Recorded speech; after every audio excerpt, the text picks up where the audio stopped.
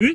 外出る立ちんぼしてるやん。新人ですよ。君も新人ちゃいますよ。一日一本は行きたいですね。いや下ネタに聞こえますよ。ダブルプレーも全然ありです。どういうこと？満塁にヘッドをタッチアップしましょうか。エロすぎやろこの里。矢野監督ともやったことありますよ。ジャニーか。僕ずっと野球の話してますよ。ほらどっか行って。